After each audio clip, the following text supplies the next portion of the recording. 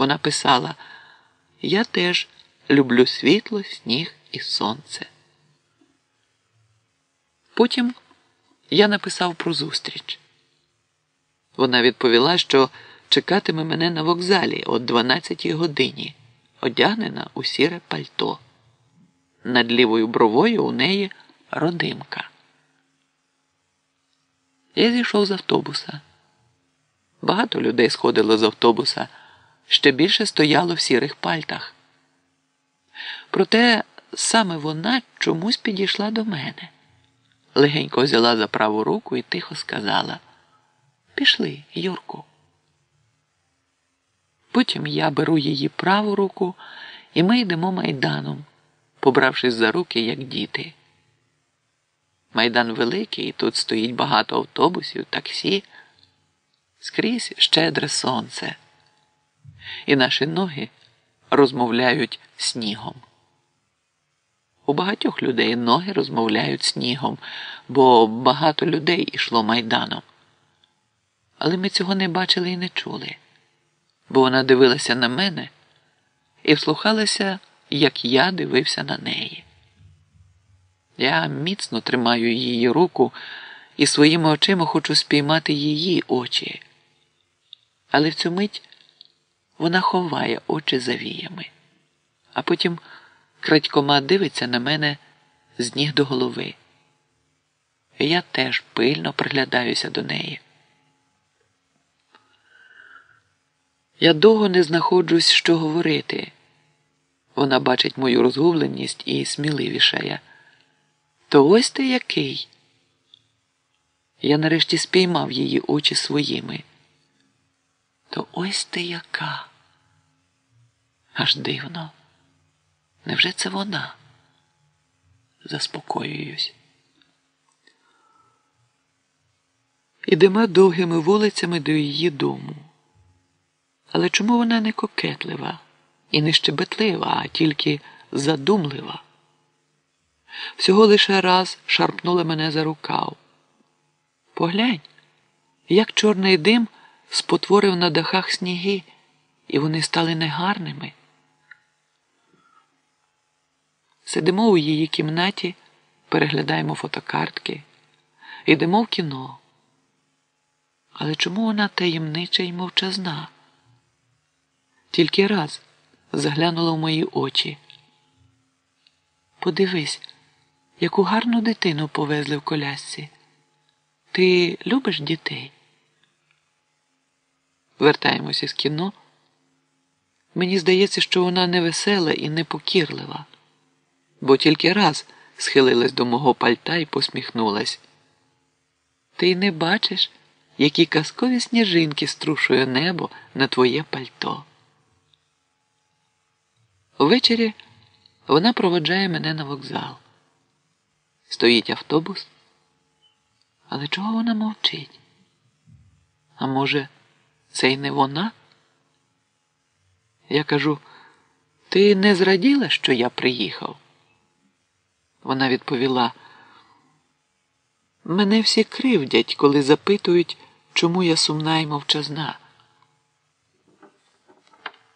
Вона не посміхається, а я думаю, що каже неправду. Звідкись з'являється певність. Я вирішую, що це не вона.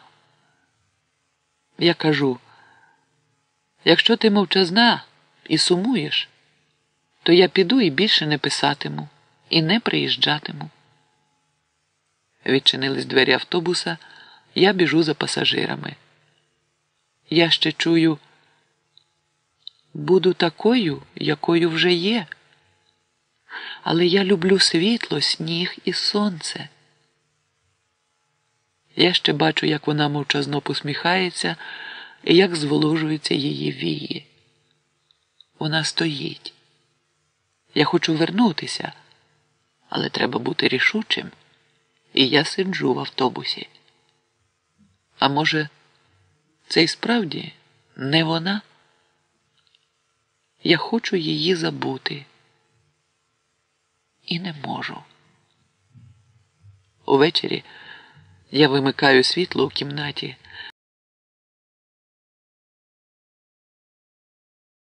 Хтось із кимось стоїть на воротях нашого будинку і комусь задумливо заглядає в очі. Хтось з іншим щебетливо біжить нашою вулицею і засипає його обличчя снігом. З високим хтось кокетливо сміється біля клена над моїм вікном, а потім покірливо ховає свою голову на його грудях.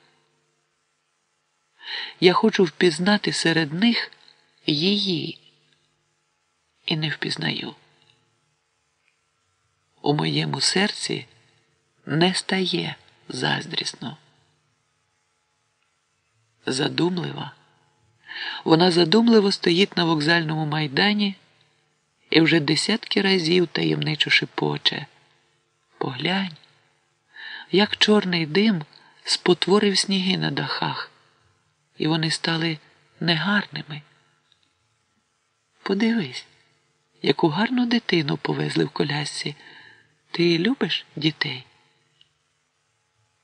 Ти не бачиш, які казкові сніжинки струшує небо на твоє пальто.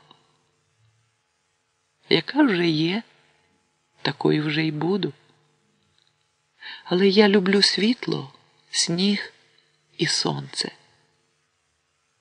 Я теж люблю світло, сніг і сонце. 1962 рік.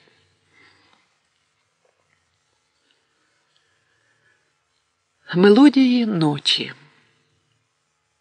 За вікном давно погас рожевий от сонця окраєць неба, і сумними очима дивиться ніч.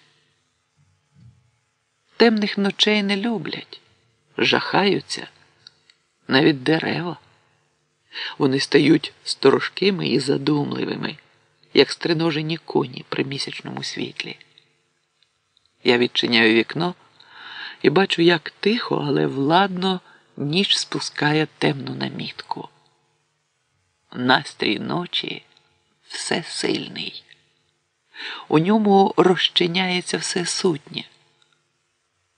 Дрімотно і знесилено повзе під гору трамвай. Люди сидять по кутках відсторонено. Вони не перемовляються навіть, їх заколисує. Руки безвільно одриваються від дзвінких металічних билиць, за котрі чіпко трималися. Від струсу на зупинці люди поквапно схоплюються, щоб не проїхати, а потім поспіхом стараються ходити коло верстатів у цехах і теж стають застиглими сповільнюються рухи, ніч своїм доторком спиняє кожен рух, кожну частину тіла, кожну клітину, усі нерви, наче у передчасній їх смерті, її радість і перемога. Уночі народжується життя. Але іменем ночі нарікають безпросвітні моменти в житті людини і народу. Спати, спати, гупають молоточки зверху чола. Трудно людині у нічну зміну, млосно і дрімотно. Не засинає мій сусід пенсіонер. Наші вікна через неширокий двір навпроти і він не спатиме, поки не погасне моє вікно. Удень сусід знімає із стіни велике дзеркало, ставить його під таким кутом, щоб у ньому вміщалася уся моя маленька кімната, і щоб йому зручно дивитись це відображення, коли вікно відчинене. Моститься на м'якому рябому дивані і солодко чатує мої кроки. Ніч сховала денні властивості дзеркала, і пенсіонерові треба навшпиньки пильнувати коло вікна. Зелені очі прилипають до шибки. Мені здається, що вони стали такими зеленими від цього заняття. Щоб у дитинстві я не прокидався посеред ночі і не виходив на двір із хати, бабуся з матір'ю лякали мене ніччю. Я довго не зелені очі нічних поселенців. Я згадую це і посміхаюся. Мої кроки і його очі. Дивно. Люди шукають у мені те, що їм потрібно і що заманеться. А чи бачить сусід мою посмішку? І чи здогадується про спомин? Чи часто люди розуміють чужі думки, якщо і мають такий намір зрозуміти? Дивлюсь за вікно. Нічне місто вирізблює обриси великої скрипки, але вона німа. Та я слухаю.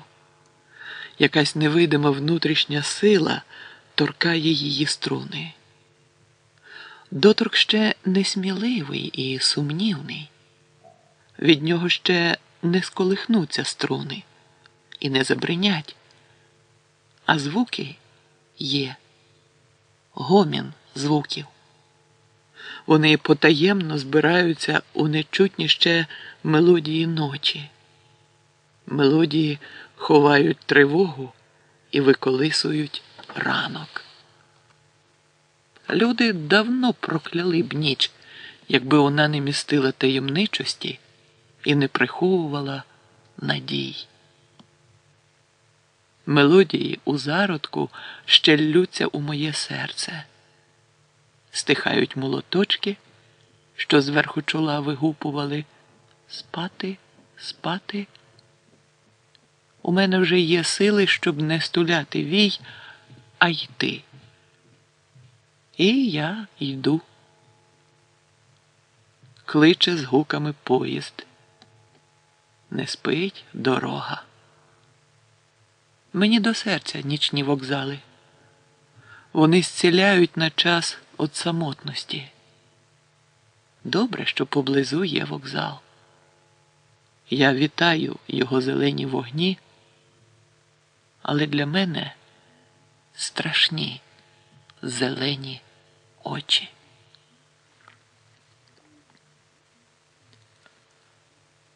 Сміх дівчат. Посеред ночі у залі для пасажирів тісно й душно. Люди принесли запахи сіна, яблук, землі і власного поту. Усе це витворило запах особливий, своєрідний, до якого найближче приходить означення вокзальний. Нічні пасажири горнуться до важких дерев'яних лав на яких зоставили свої сліди тисячі людей, аж дубові бильця з коричневих почорніли.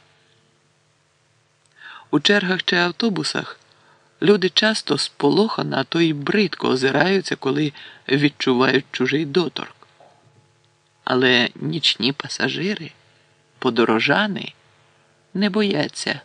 І у празниковій одежі ні чужорідних слідів ані випадкових доторків, ні дорожньої пилюки, аби лише відвоювати шматок місця для спочинку і сну, аби присісти де. Тому важкі дерев'яні лави посеред зали виступають у незвичній ролі, як і усякі інші речі, котрим довірено бути посередниками між людьми і регулювати їхні примхи та звички. Стареньку, висушену з лиця бабусю, зсунули на самий край лави, і вона ще поменшала. З боку старої моститься внучка у платтячку з весняних кольорів. Але їй уже ніде приткнутись. Навпроти стоїть корзинка, виплетена з соснового коріння. На її дні лежать яблука. Бабуся згортає гомінкі яблука у правий куток, встеляє дно корзинки терновою хусткою з голови і кладе туди дівчинку головою до яблук. Дрімають обоє. Важко зітхає у сні бабуся.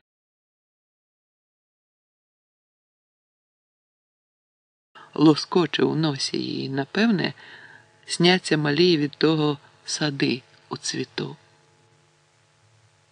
Але сади відцвітають, коли осипається цвіт, то безпечна усмішка на малому личку поступається не по дитячому глибокій задумі. До залу зайшли дві пари. Одна молода і одна на чверть віку десь старша. Для них уже нема вільного місця. Вони мостяться у кутку за високими з міцним листям фікусами, сідають на великих і, певно, важких чемоданах, що їх принесли із собою. Молода мати заколисує на руках дитину. Батько, одвернувшись, сидить поруч. На ньому біла морська одежа, штани зіжмакані вітрами. На обличчя виброджує одинока безпорадна печаль. Він уже не у рідній батьковій хаті, де кожного ранку ставало не по собі, незвично щось крізь земна твердь, а не море. Але він ще і не в морі, де серце членуватиметься сумнівами і смутком за шматком зелені. Передусім землі з того краю, що входить у кожну людину під іменем дитинства. Він у дорозі. Батько й мати із старшої пари ще не в розпачі, що частина власних сердець і власного життя одірвалась і загубилася у великому світі. Таке станеться вранці з відходом поїзда. А тепер вони боязко поглядають на застиглого сина і зовсім сміливо заглядають у великі очі внучати, а воно, засинаючи, усміхається. І це трохи розвіює сум близької розлуки. На молоду матір вони позирають зрідка, і це виказує, що вони його, а не її батьки. Внуча рідне, а невістка, наче чужа і зайва. Вона й сама це завважує, і на обличчі з'являється тиха, але необразлива задума. Нехай посміхається дитина дідові й бабі. І нехай не голублять і не гріють вони поглядом невістки. У її серці в цей момент не ревнощі, а скоріше спокійна певність, що на руках найближча частка власного серця, і що дитячу любов ніхто не одніме, і сповна належатиме вона тільки їй, матері. Через кілька хвилин усі п'ятеро задрімали. Ніч взяла в свої обійми думки кожного. Ті, що вмостилися зручніше, і ті, що ззовні безпретензійно притулились по краях лави, не полишаючи, однак, постійної думки при нагоді відвоювати площі більше. Так до великих міст туляться непевні бажаючи одержати мешкання у великих містах. Усі дрімали. Поміж рядами тільки чергова ходить і завчено по-школярськи, наче гомонить. Ха, розляглися, наче дома. Вокзал це не дома. Не тут, а дома треба спати. При цьому вона такими ж завченими й одноманітними рухами тормошила кожного за рукав. Але ніхто не дослуховувався її голосу, а й доторки чи полохали, рідко хто схоплювався. І навіть ті, що стривожено схоплювалися з нічев'я, протирали кулаками заспані очі і кидали байдужі погляди у всі біч, зустрічаючи сірі й мляві очі чергової з червоною пов'язкою. І в цю ж мить знову прикликали до влежених місць і засинали. Їх ані скілечки не обходили голос і кроки вчорашні схожі на сьогоднішні, а торішні, мабуть, на цьогорічні. І чергові на усіх вокзалах, напевне, однотипні, як схожі поміж собою в якійсь мірі усі вокзали. І до них уже призвичаїлися пасажири, котрим часто випадає дорога, як згодом звикаються сільські люди до міського гомону. Добре, якби його не існувало. Але що поробиш, коли він є? Присутніх, напевне, більше непокоїло голосне хропіння. Ішло воно од міцного чоловіка з мідними знаками дубового листу на рукавах, мабуть, лісника. Було воно якимсь особливим. Від нього віяло не тільки дужою чоловічою силою, а й пахощами і згуками лісу. Сонні люди на мить откривали очі, ворушили віями. Вгорі у блідому світлі плавали сонні тіні, як у касці. І очі знову безвільно заплющувалися. А високі фікуси стояли по кутках, мов сонні нічні сторожі людського сну і теж дрімали. Вони нагадували високі кущі папороті. Праворуч на стіні, на великій картині у дерев'яній рамці, запорожці писали листа турецькому султанові. Хоча відома картина дихала історією, давниною і уже буденністю, бо зустрічати її доводилося кожному не на одному вокзалі, бачилася вона якось нереально мов у дитячому сні. Сприймалася так. Постаті запорожців, здавалось, теж заснули, як тіні пам'ятників на могилах. Раптом до залу увійшло четверо дівчат. Вони навіть не стали шукати вільних місць на лавах, і кожна з них навіть поглядом не переконалася, чи такі місця є. Або вони не хотіли перебивати сон пасажирів чи мали незаперечну думку, що усі лави уже давно зайнято. А дівчата зупинилися аж у правому кутку і посідали кожна на краєчку свого чемодана. За широким фікусовим листям їх не було видно. Спочатку дівчата перемовлялися тихенько, щоб не будити сонних, а потім одна з них, напевне, сказала щось смішне, бо друга упівголоса засміялася і через якусь час у хвилини, коли усі, мабуть, вирішували підтримувати її чи ні, по залу пройшовся несміливий, але нестримний сміх дівчат, наче хтось в одному місці четверо дзеркал розбив. Та, котра засміялася першою, мабуть, зачепила рукою гілку фікуса, бо все листя вайлувато затанцювало. Фікус тихо і насторожено пробудився.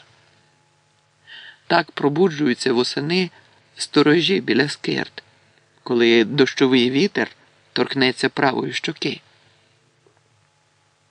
Спершу проснулась маленька дитина і її молода мати. Потім батьки моряка, і він сам. Нарешті усі, бо були найближче до дівчат. Потім уже інша дівчина починала розказувати щось смішне, і угору злітав дружній регіт.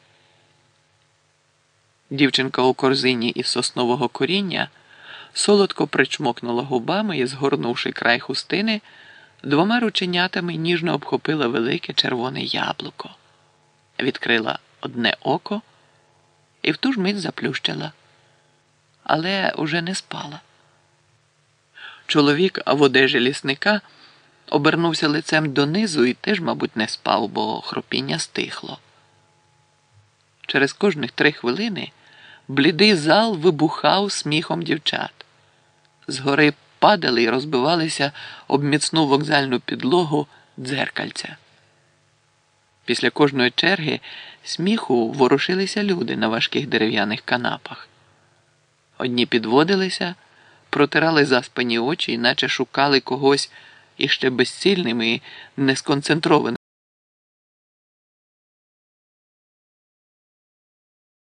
ще безсилі усвідомити, що і кого саме вони хотіли бачити. Інші не протирали руками очей і не піднімали вгору голови. Вони лише вайлувато оберталися на другий бік, наче у такому положенні зберуть докупи невизначену тривогу, котра закралася маленьким зовнішнім доторком, і внутрішньо росте і дратівливо визріває, ще неспроможна народитися думкою, метою чи мрією. Але ті й інші уже не спали. Час від часу крадькома розплющували одне око, а то й двоє одразу. Знову заплющували й удавали, що дрімають, а насправді не дрімали. Із заплющеними очима думали про щось несформоване і невистояне, і чогось чекали, і не наважувалися подумати, що чекають нового сміху дівчат. Проте не кожний проймався бажанням глянути на дівчат. І, мабуть, не тільки тому, що дівчата заховались за фікусовим листям, і щоб їх бачити, треба вставати із влеженого і непевного місця, яке тут же і зайняти можуть чи потіснити.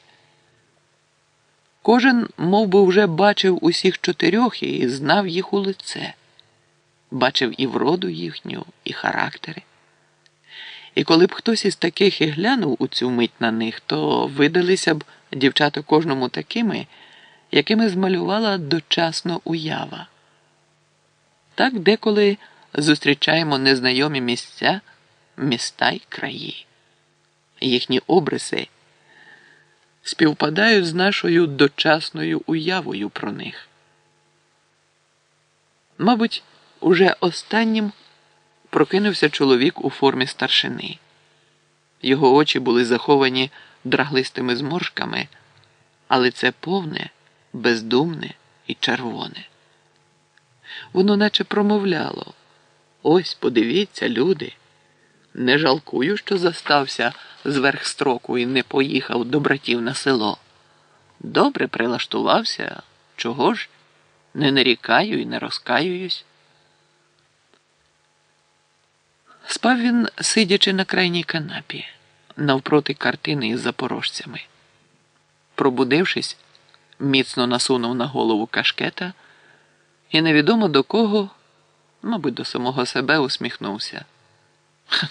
Розбудили, сміються. Потім поглядом описав круг, шукаючи по боках присутніх і закликаючи, наче щоб подивилися на його повне червоне обличчя і переконалися, що він у житті прилаштувався ні в року вигідно, не згірш, а краще, як його брати на селі. Але чи тому, що збоку ніхто не дивився, чи просто випадково, очі старшини зупинилися на картині із запорожцями. По лицю прошмигнула раптова усмішка, і випадковий погляд став напруженим до тої грані, що старшина заплюскав очима. Певно, картина містила для нього якесь свіже відкриття, бо зорова напруга не врівноважувалася. Старшина звів докупи ноги, іначе збираючи усі внутрішні сили для чогось у цей момент найважливішого націлився на картину новим і дужчим поглядом. Усмішка, що раптово була з'явилася на обличчі, тихо й непомітно згасла, наче їй стало незручно, і вибачилася за свою поспішність. Натомість прийшла гранична напруга, з якою старшина розглядував картину. Запорожці уже не скидалися на тіні надмогильних пам'ятників. Мов би, уже настав ранок, іначе вони теж пробудилися, і після сну віяли одних свіжістю, здоров'ям і силою. Мабуть, і для старшини видалися вони такими, бо він не переставав пильнувати за кожною постаттю на картині. То скидав кашкета. то усім тілом нахилявся назад, одриваючи від підлоги ноги вгору, аж чувся звук кованих чобіт об кам'яну підлогу. І обличчя у нього вущало від якогось внутрішнього, ще не усім єством відчутного і зрозумілого переляку чи сумнівів. З червоного воно ставало трохи землисто сірим, і старшина вже не озирався довкруж, щоб привернути увагу до свого лиця. Він навіть забув прислуховуватися, як сміються дівчата. Так перед весною забувається людина, коли визирне вранці у вікно і бачить та чує, як пурхають за шибкою горобці, провіщаючи весну і ранок. Довго дивиться і довго думає про весну, про ранок і ще про віщось. І не бачить горобців, і не чує, як вони злітають. І забуває, що її увага і думки, і напруга внутрішня викликані випурхуванням з під стріхи горобців.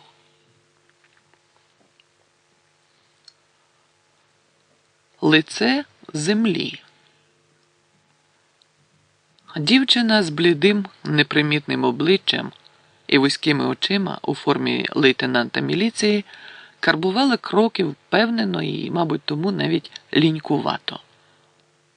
Вона вважала себе господаркою вокзалу. На обличчі збиралися думки. Добре, ви люди, і вас багато. Але до кожного з вас я можу ось так просто і впевнено підійти без зайвих умовностей почати розмову. І вона йшла поміж рядами дерев'яних канап, на яких дрімали люди. Думкою не стримувана і не спонукувана, механічно якось зупинялася там, де їй заманеться. І байдуже, строго так не нахиляючись, штовхала сонного рукою за праве плече чи наступала кінчиком черевика на широко розставлені ноги. Пробуджувався хлопець і злякано отетеріло з просоння кліпав очима, на які спадало сіре в пилюці і нерозчісане волосся. Одіж на ньому теж сіра і добряче зіжмакана. Це засвідчувало, що на вокзалі і в дорозі він зустрічає не першу ніч. На правій руці запилився напис з малих лет на кольосах. Пашпорт. Хлопець кілька хвилин нишпорить порепаними руками у спідніх кишенях. Нарешті вийняв потертий сірий пашпорт, який нагадував інструкцію до застарілих марок тракторів, що лежала поруч з ключами і гайками. Ключі і гайки щодня йшли до рук, а інструкція лежала в кутку і глибше осідала в пилюці. Так, так. Остання прописка 1960. А чому зараз нема прописки? Дівчина міліціонер, ніби мляво, але уважно перегортала зі жмакані сторінки. Хлопець, який твердо переконаний, що ніякого іншого місця прописки, окрім нічного вокзалу, на цій планеті у нього нема. Уже збирався щось говорити, але не встиг. Дівчина міліціонер ще раз штовхнула його у плече. Хлопець похапцем звівся, і тільки тепер стало ясно видно, який він худий і високий. При виході із залу якраз нагодився низенький міліціонер, і дівчина, вперше за все чергування, посміхнувшись, передала йому зім'ятий пашпорт, а вже потім кивнула на підозрілого пасажира. Поверталася назад і знову йшла нічним залом. Цього разу зупинилася біля хлопця у сітчатому білому капелюсі. Він дрімав сидячи і тримав у правій руці кишеньковий радіоприймач. Пасажир розплющив очі у той момент, як вона зупинилася навпроти нього.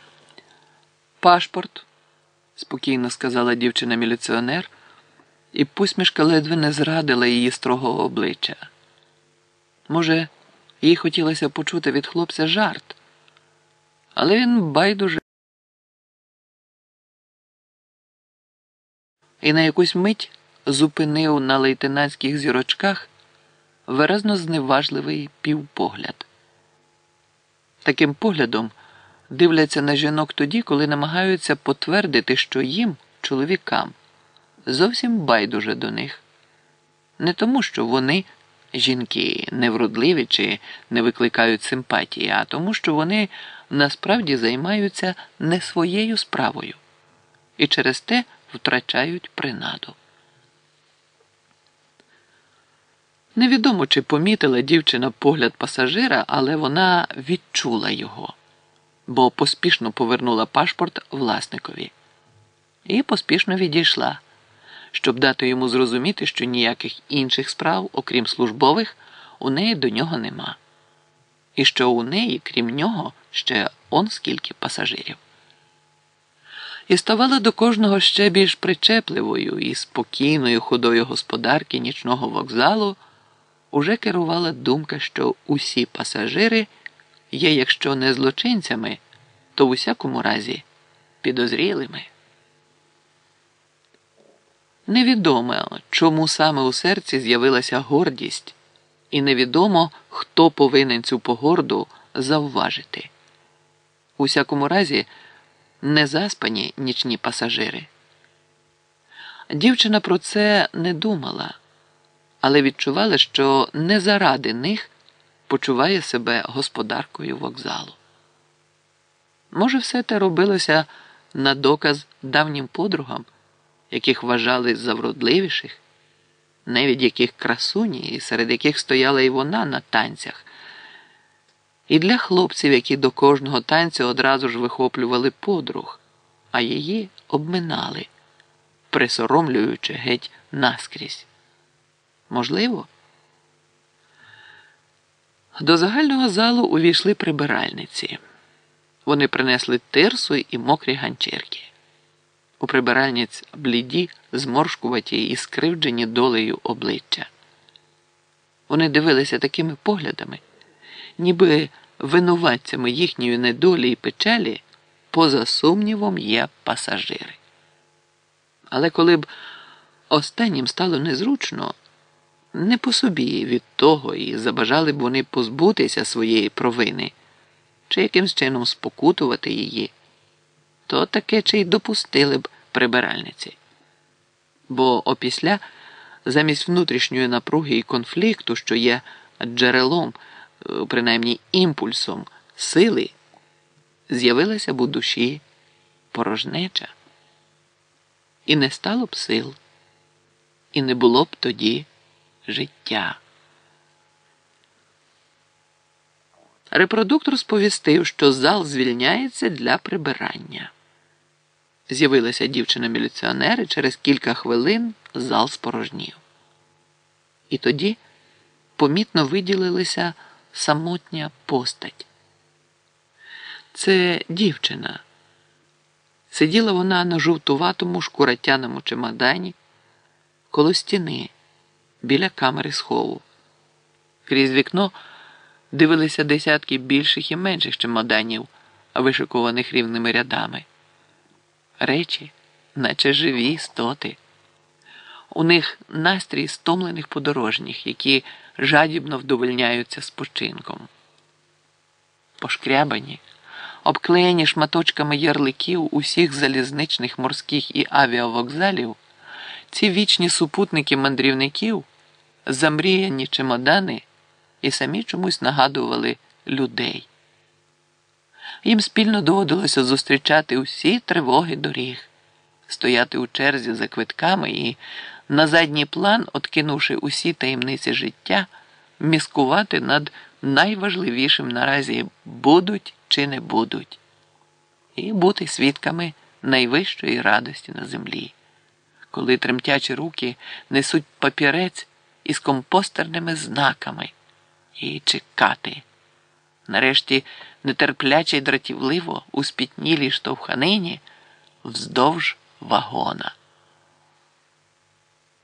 Схожість обох доль і переживань особливо виразно застигла у цьому нічному моменті.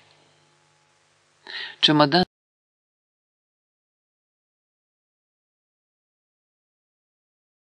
не тільки тому, що хизувався своїми шкіряними доспіхами з блискучими під золото зачинками, а найперше через те, що перебував він у стані активному, сказати б, прислуговував своїй господарці, тоді як пошкрябані спільники за вікном солодко і мрійливо дрімали.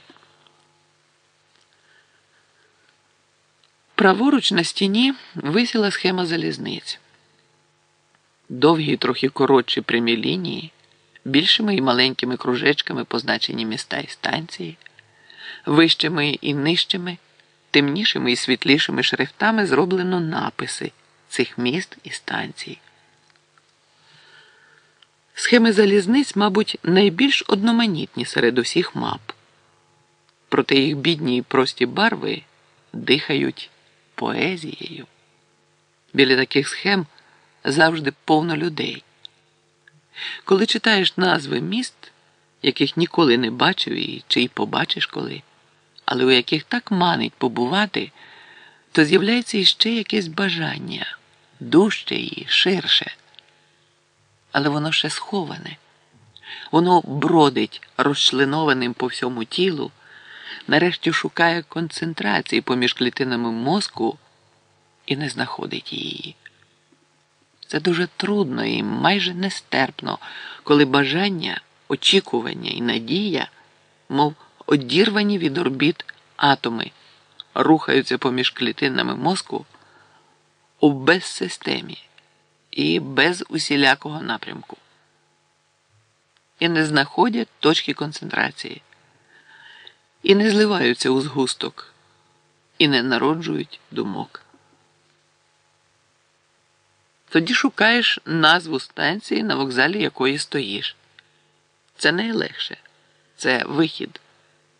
Довго дивишся, і ніяк не віриться, що це вокзал саме цього, а не іншого міста, позначеного на карті кружечком.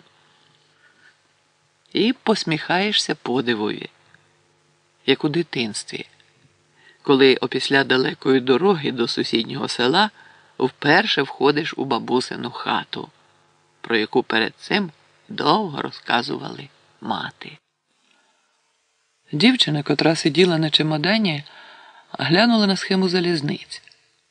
Була дівчина худорлявою і непримітною зовні. Чорно-біле у клітинку плаття звисало з високих худих плечей і зовсім приховували її стан. У неї було бліде, пісне і зовні спокійне, а насправді нервове обличчя, обличчя художника. Люди зацікавлено і тихо розглядують картини, але в майстерні маляра часто дратівливо, а то й бридко одвертаються від пензликів, посудин з фарбами і всіх інших матеріалів і запахів, з котрих зіткані картини. Та обличчя художника одразу чи згодом відкриває свою принаду.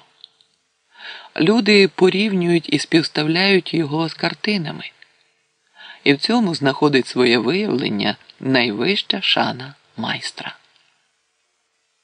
Дівчина малювала. В альбомі на правій сторінці стояли зажурені за вікном чемодани, валізи, клумаки, а їх нічний сторож задрімав над книгою. На лівій сторінці виростала наша планета.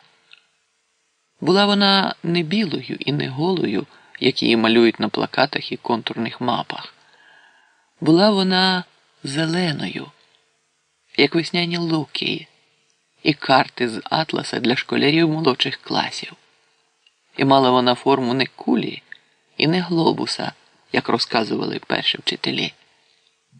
Її лице, наче лице людське, те обличчя все зранене і у зморшках, і світилося воно скорботою матері прибиральниці.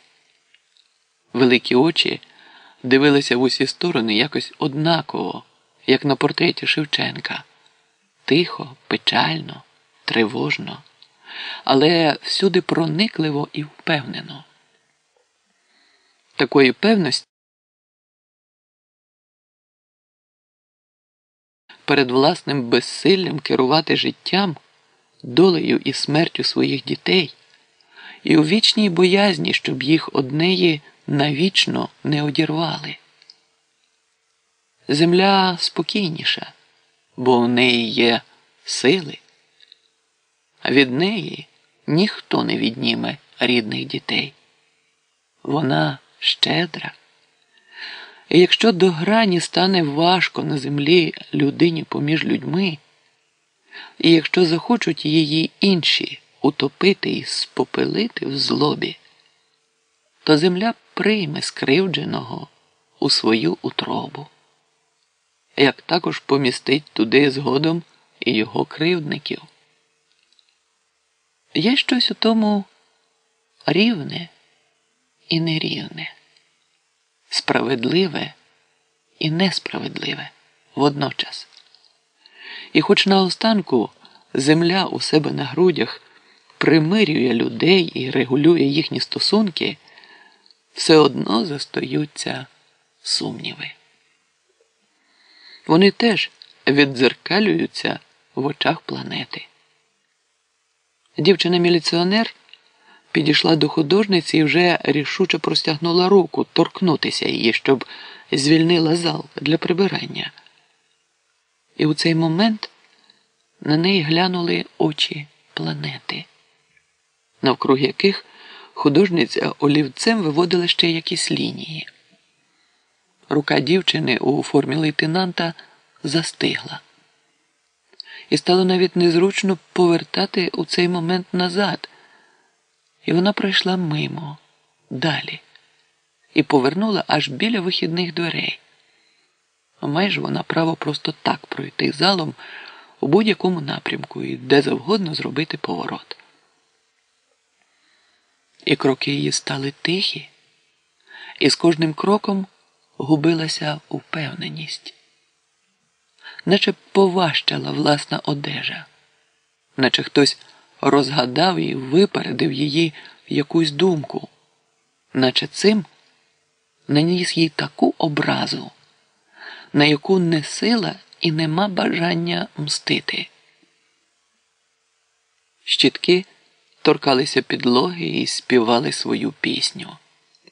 Прибиральниця помітила, що черговий міліціонер пройшла мимо єдиної у залі пасажирки і, напевне, попередила її. Вона не стала гукати на дівчину, котра сиділа на шкуратяному чемоданові, але не щулася, як опинилася зі щіткою біля художниці. Прибиральниця звела очі і зустрілася з очима планети. Вона хотіла щось сказати, але не змогла, бо забулася, що треба казати.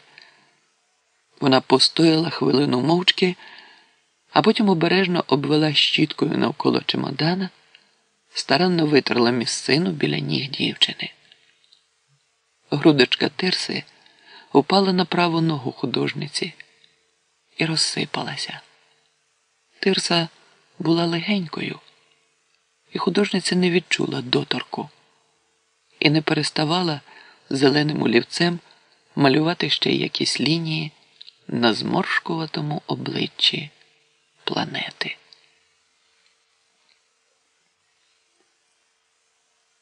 Скрипка у вагоні. Бокові лампочки у вагоні погасли раптово і несподівано, а ті, що біля проходу, зблідли. По кутках стало напівтемно. Люди раптово і несподівано перейшли на тиху і обережну мову, а потім зовсім перестали гомоніти. Уночі люди лякаються своїх голосів і думок, мов би хтось у темряві постійно їх чатує. Хоч буває і певні, що поряд, окрім безпеки, нічого і нікого нема. Посередні мої ночі сміливими деколи хочуть бути поети і музиканти. Але одважливцям також не завжди вдається позбутися сумнівів, нав'язаних ніччю, які ж, напевне, у зародку умертвляють протягом одного моменту.